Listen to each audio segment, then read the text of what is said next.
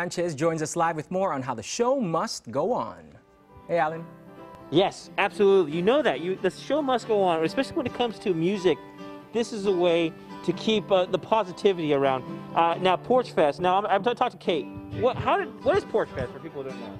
Uh, Porch Fest is an event that happens every year across the world, actually, where we put live musicians, local musicians, on people's front porches throughout neighborhoods. And then from there, of course, we can't really be out. We can't invite the public out.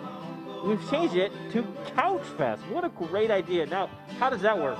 So, um, yeah, when it became clear that things were sort of unraveling and that it wouldn't be safe for our community to be out in public, we went to our Porch Fest community internationally and people were coming up with these creative ideas. And so there were some folks in Michigan who I connected with that offered their sort of model for something called Couch Fest and we adapted it for us. So, yeah, local musicians are playing from their houses straight to your living rooms.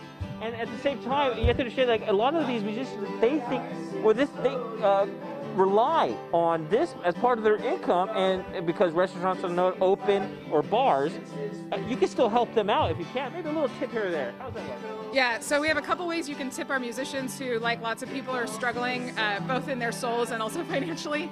Uh, we will provide links to their Venmos or PayPal accounts on our website and on our Facebook posts, and you can also buy a postcard that we had designed by local artist Aaron Black for $5, which is going into sort of a communal tip jar that we're going to split amongst all the performers.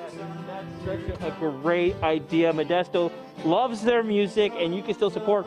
And there's all kinds of music. It's just not just acoustic. No, it's not. We have like bluegrass. We've got um, guitar. We've, I mean, like folk. We've got rock and roll. Anything you can imagine, we've got going on. And I hear it since it's live, and a lot of them are live streaming. Is that you can actually put some requests in. You can interact with the artist.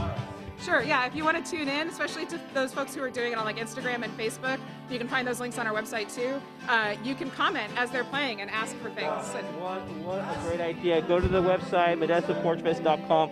They're going to start today. Uh, I think today's going to be at noon and tomorrow's at 11. Oh, I got it right. Finally got my information right. And then you can watch it for free, find out how you can donate, and get some beautiful music during these hard times. Ah, I love it. We'll send it back to you. Name the song.